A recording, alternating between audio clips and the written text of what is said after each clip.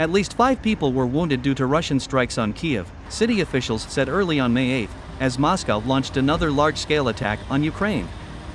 Three people were injured in blasts in Kiev's Solomyansky district and two others were injured when drone wreckage fell onto the Svyatoshyn district, both west of the capital's center, Mayor Vitaly Klitschko said on his Telegram messaging channel. Klitschko said drone wreckage fell on a two-story building in the Svyatoshyn district.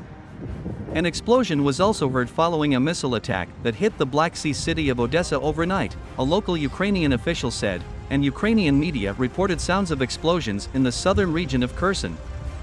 Separately, Russian forces shelled eight locations in Sumy region in northeastern Ukraine on Sunday, the regional military administration said in a Facebook post.